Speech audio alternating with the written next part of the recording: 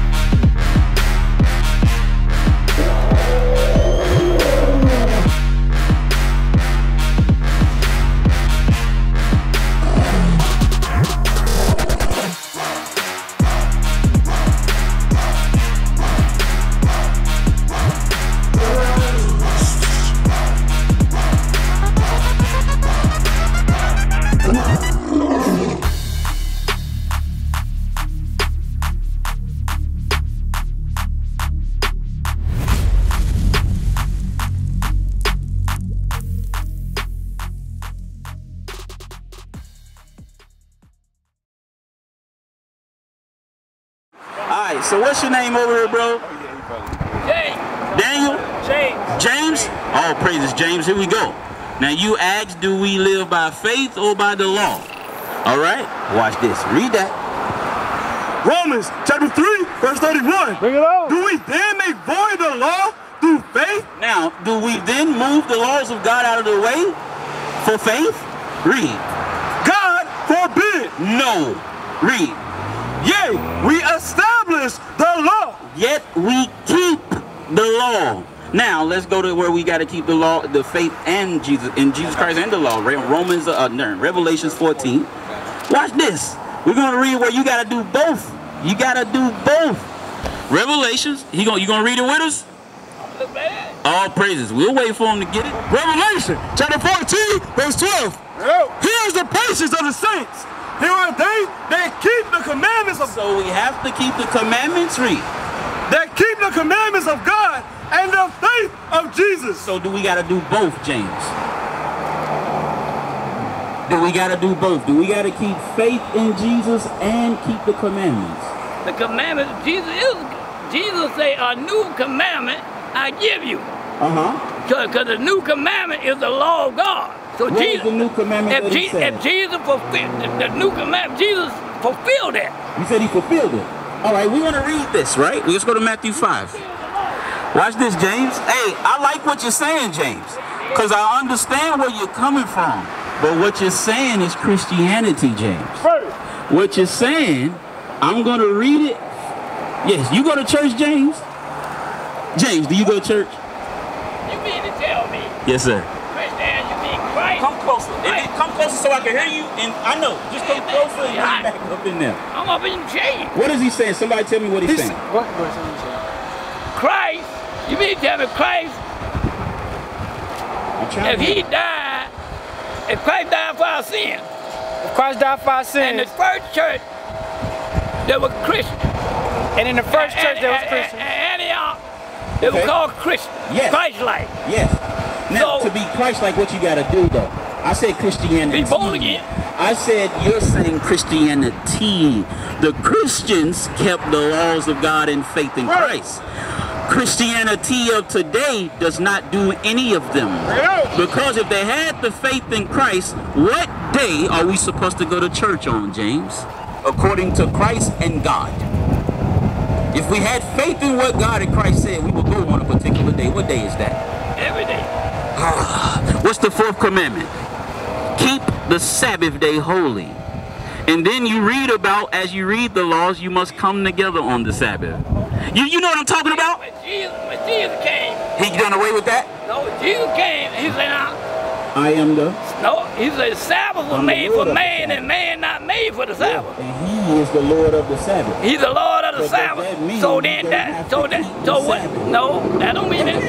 And Jesus broke, he broke the Sabbath. Jesus broke the Sabbath every day of the week. He broke the Sabbath every day of the week. Wait a minute. Let's go to First Peter's. Let's get one. my, hey, you my guy, but I need you to listen to me. Come on. Come right here, James. Just check this Come right here. this out. Jesus Yes, went in the cornfield, Uh-huh, and he ate the corn. and he gave the corn, he was breaking the Sabbath. Watch this. Now, there was a law in the Bible that he didn't break. You know what he talking about in Matthews? Yes, sir. Let's get that in Matthews. Watch it. Hold up, James. James, James. Listen, I listen, I think listen. about my head. It's, it's cooking. I know it's hot. Dang, I want you to stay over here. I want to slide over there to him. Watch this, James. Watch this, James. We're going to read it. Then we're going to read the law in Deuteronomy that Christ kept. Watch this. You got it? Mm, yes, sir. All right. Read that. Matthew chapter 12, verse 1. Uh-huh. At that time, Jesus went on the Sabbath day through the corn, uh-huh. and his disciples were and hungry, and began to pluck the ears of corn and to eat. So, so Christ went through the field and he plucked corn to eat. Watch this. Read on. But when the Pharisees, What'd you say? Week that. That was the Sabbath.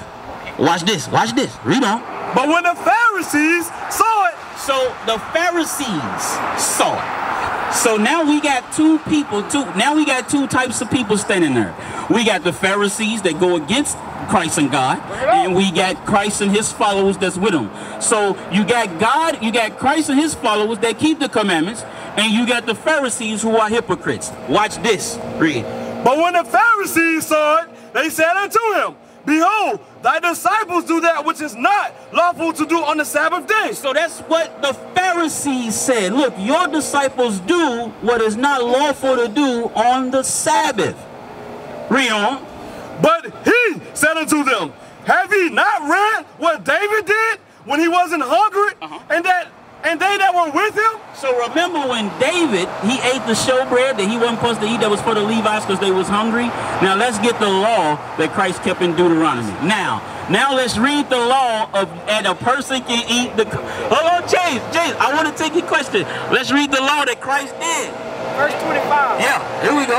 Read that. Deuteronomy chapter 23, verse 25. Yep, 25, that's it. When that when thou comest into the standing of corn to thy neighbor, Now, so this is a cornfield. If you come into the standing of the corn of your neighbor, read on. then thou mayest eat, excuse me, pluck the ears with thine hand. But thou shalt not move a sickle unto thy neighbor's standing corn. So you're able to pluck it to eat because you're hungry, but you can't go out there and work and pick up a full basket of corn. So did Christ break a law? So did Christ break a law, James? Based off of that law, did Christ break the law? Based off that, he didn't, but based off the Sabbath. He don't supposed to, the Sabbath saying, you don't supposed to work. You, that, they consider that as work. He didn't work. He just took Why? it and ate it. If you got out the corn, that was work. No, he did not go and get a basket and Work, off work, full brother. thing Work corn. you don't do nothing on the was supposed to Sabbath. You do not do nothing on the Sabbath if So you ain't you're do saying that. that Christ broke the laws of God. He fulfilled it. Watch this. He fulfilled You got it? What? James, let's listen to the Bible. First Peter chapter 2, verse 21. For even hereunto were ye called, because Christ also suffered for us, leaving us an example, So Christ left us an example to follow. Read on. that ye should follow his steps. Read on. Who did no sin. Who did what? Who did no sin. Who did what? Who did no sin. So when he plucked the corn on the Sabbath day to just eat that piece because he was hungry, Who did no sin. read on. Neither was guile found in his mouth. So he did not break a law. Come on, James, you knew that. Because you say Christ is perfect, right? You say Christ is perfect, and then you'll turn around and say he sinned. Come on. He fulfilled it. He fulfilled it. Let's go to Matthew 5. Let's read about what he fulfilled. How about that if we show you? Let's do that. Since we've been going through showing you so far and you've been humble enough to listen, we're going to show you now. Let's get that 5. Yep. Matthew chapter 5, verse 17. Think not that I am come to destroy the law. Christ is written in red. It says, Christ says, think not that I come to destroy the law. Meaning, don't even put that in your mind that you ain't got to keep the laws no more. Read on. Or the prophets. Uh-huh. I am not come to destroy, but to fulfill. So he said, look, I did not come to destroy the laws, but to fulfill. It didn't tell you what he came to fulfill right there. Hold that. Now let's go to, no, let's go to Acts 3.18. Look it up. Acts 3.18. Let's find out what Christ was fulfilling of what the prophet said about him. You got it? Read. Acts chapter 3, verse 18. Uh-huh. But those things which God before had shown by the mouth of all his prophets, So there was things that was written about Christ that he showed to the prophets before. Your Jeremiah, your Ezekiel, your Daniel, Moses, all of them. Read on. that Christ should suffer That's what he fulfilled. Because when you read in the Old Testament, you read about Christ coming and dying for his people, for us. You read about Christ coming and being beaten. You re- you actually don't you don't read about how bad Christ was beaten until you read Psalms, when it shows that his bones was exposed. You don't read about that in the New Testament. You just know that he was crucified. But it doesn't tell you how. It don't tell you that his beard got ripped off in the New Testament. It tells you that that happened in the Old Testament. So he fulfilled that. Now we don't have to keep the law of sacrifice because he's the Lamb of God, but that does not mean that we can break the Sabbath. That don't mean that we can kill. That don't mean that we can commit adultery. All those we must keep. And the faith in Jesus Christ because now he is the sacrifice. Huh? What? So you understand what I'm saying now, James? All praises. Got another question? Yeah. Yes, sir. Man, how you gonna keep all that? What he said? How you gonna keep all that? How are we gonna keep the laws? All praises to the Most High. Watch this right here, James. Philippians chapter 4, verse 13. I can do all things through Christ which strengtheneth me. Now, you read, you believe the Bible? You got faith in Christ? You got faith in what the Bible says? So why in the world would we ask, well, how are we gonna do that once we learn the laws? No, you can. You can do it because Christ is gonna put the Spirit on you to do it if you want to do it. You gotta wanna keep what God said. You gotta love this thing. If you don't love what God says, you know what you'll end up doing, James? You'll go to church on Sunday. You will keep Christmas. Because that ain't got nothing to do with Christ's birthday. You will do Thanksgiving. You're celebrating the murder of your own people. But when you don't got faith in Jesus, you will do all those evil things. Matter of fact, you'll fire up a grill on the Sabbath day. Just like we see people doing. We'll cook and work all on the Sabbath. We won't even ask for the Sabbath day off. What he said? You say you mean to tell me a man ain't supposed to fire up that grill right now? Absolutely. Let's read that on this. You, you was here when he went over the Sabbath. Let's read it. Watch this. Watch. Watch. Yeah. No, you cannot cook on the Sabbath, James. Watch this, James. Watch. Watch. Watch. Watch. Look, James. You don't want to hear the Bible. Wait! James, you asked the question. I'm just gonna read the answer.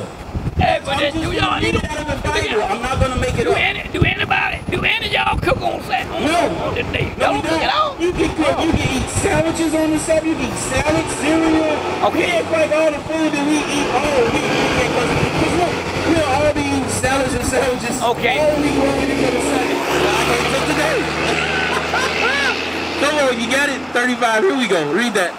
Exodus chapter 35, verse 3. Watch. Ye shall kindle no fire throughout your habitations upon the Sabbath day. It said you shall kindle no fire. Let's get the other one in 16. Watch this. So you cannot kindle a fire on the Sabbath. Now we finna get specific and read it where it said it again. So God had it wrote two times because we gonna sit up there and try to be simple and not act like we don't understand what we're really talking about. Watch this. Read that. Exodus chapter 16, verse 23. Uh-huh. And he said unto them, This is that which the Lord has said. Tomorrow is the rest of the holy Sabbath. So that would mean that he's saying this on Friday then, right? He, that would mean if he says tomorrow is the Sabbath, this is being spoken on a Friday, on the sixth day of the week. Read on. Unto the Lord. Bake that which ye will bake today. So cook whatever you gonna cook, cook it today, before the Sabbath. Watch this, read on. And see that you will see. Boil, read on. And that which remaineth over lay out for you to be kept until the morning. So you are not supposed to cook it on the Sabbath. You eat what you whatever you gonna eat on the Sabbath, you cook it Friday and you eat it on the Saturday. Now watch, he understand that? All praises. So that so now you know that when I said that I didn't make that up, James. That's, that's the, all praises. Now watch this. Watch what else we ain't supposed to do. Give me Nehemiah 13. Watch this. Watch this now. Is that what I want? Yep. Yeah. Yeah. they got some good questions, James. You are asking some great questions. You asking, hey, how y'all doing? Y'all come listen to the Bible. We going over the Sabbath day right now. You got it? Watch this. This we'll listen to. Listen to this because you're going to the store. Read it. Here we go. Nehemiah chapter 10, verse 31. And if the people of the land bring ware or any victuals on the Sabbath day to sell, So James, this right here says if anybody brings anything to us, any victuals to sell, meaning this store is open to sell, this store is open, that grill is over there for us to buy. They're trying to sell us things, right? Watch this. that we would not buy it of them on the Sabbath or on the holy day, and that we would leave the seventh year and the exaction of every debt. So that is what we're not doing. It said we can't shop today. So all the gas that all of us bought, we bought it yesterday. All of the food that we gonna eat today, we bought it yesterday and cooked it yesterday to eat it today. Right. Huh? Ain't this work? What he said? You say, ain't this work? No. All right, let's get doing good on the Sabbath. Do good on the Sabbath. Start at 8 because it's the scripture that he said earlier. Start at 8. Verse 8 For the Son of Man is Lord even of the Sabbath day. So Christ is Lord of the Sabbath. That didn't mean you could break it because watch what he said. Read. And when he was departed thence, he went into their synagogue. So wait, it's on the Sabbath and Christ went into the synagogue. So where's the Jews on the in, in why are they in the synagogue? Because on the Sabbath the Jews come together in the synagogue. Right. So where are we supposed to be at on the Sabbath? Y'all supposed you supposed to come gather with your brothers. That's what we gonna go do when we leave here. Luke we 13, finna go in the congregation amongst our families, our brothers and sisters together. That's exactly what Christ did on the Sabbath. Read on. Read on. Verse 10 And behold, there was a man which had his hand withered. And when they asked him, saying, Is it lawful to heal on the Sabbath days? So they, he asked, look, the Pharisees, the same ones that had an issue with him plucking the corn and he kept a law about getting the corn, the same Pharisees said, yo, is it lawful to heal on the Sabbath? Watch this right here. Read on. That they might accuse him. And he said, So they did it to accuse Christ. They was trying to accuse Christ because they hated his guts, just like people hate our guts today when we tell them the truth. Read on.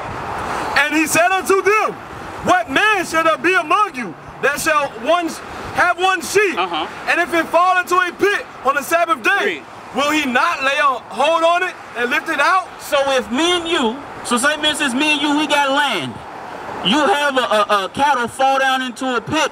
That cattle is your bread and butter. That's how you make your money and feed your family. So it's sitting there. You didn't go out there to feed it. That you didn't go out there to feed it. You didn't work. It happened to fall. So guess what? It said, would you not go and help them lift it up to save the thing? Would you not do that? Now watch this. Keep. We got to keep reading, James. James. James. They're working. They don't have to today. This is not a must. Watch this. Read. How much then is a man better than a sheep? Because you're better than a sheep. Because aren't you and our race of people, aren't they deceived today? Because you didn't even know some of the stuff we reading now. You're not the only one. 90% of our people that walk past us got the same questions you got. You had the courage to ask. Right. And the humbleness to ask and allow us to read it to you. All praise to the Most High. But what's going on right here, you're better than the sheep. Right. Because you're lost. Right. Our job is to come to the lost. You ain't keeping the laws. What's your race, James? What's your race? James, how old are you?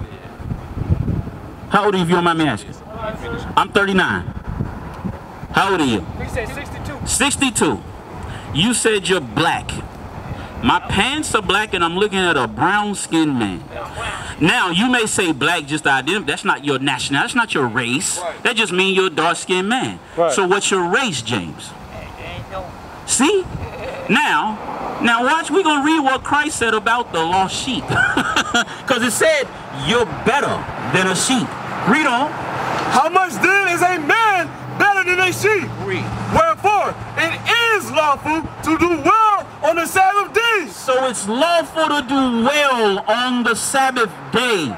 By us coming out here and teaching the Bible, we're waking up the lost sheep of God. That's right. The lost sheep of Israel. That's who you are. You're an Israelite. You're the real Jew, James, and don't know it. Read that? Yeah. Luke chapter 13, verse 10. And he was teaching in one of the synagogues on the Sabbath. Christ went into the synagogue on the Sabbath. Once That's again, what day? He didn't go on the first day of the week. It was the seventh day. All the Jews are supposed to keep the Sabbath day until we dead.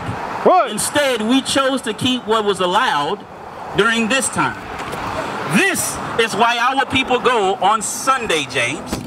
And we could not take Saturday off. So they beat us and made us do Saturday. They made us work on Saturday. Then they would let us off on Sunday. Now we do it as a tradition, James. No one teaches the Bible in the Christian church on Sunday because if they did, no one would be there. No one. That's fact. Because if you read it out of the Bible, why in the world would a Christian pastor who knows, claims he knows the Bible, why won't he read the laws of the Sabbath to you? Right. And you've been going and you're 62 now. Yeah. And you've never heard you can't cook, you can't buy, you must congregate. You've never heard that. You've never heard My that. mama told me that. Huh? Says grandma told him. Yeah, but you went to church. Why didn't your pastor tell you? Even if your grandma didn't tell you, why didn't your pastor who you look to for spiritual guidance, why didn't he tell you? Why they don't tell you. Why? Keep you in bondage. Because we in bondage? You said the reason that they don't tell you to keep tell you you. in bondage. keep you in To keep you in bondage. Yes. We used to scream black power while Heron was pushed. But at the end of the day, nothing's in vain. IUIC has been given a vision. The tents of Judah has risen. Many has attempted the mission, minor murmuring, omitting, and missing the mark. Just reading that he had the flame of fire in his eyes gave us the spark. We on Paul's mission. We out on the road, purple and gold, from Mexico, Cuba, Haiti, Ghana, Sierra Leone. 144,000 boots banging, concrete crackling. These are our men repented at heart. The scriptures is proof. IUIC, we deliver the truth.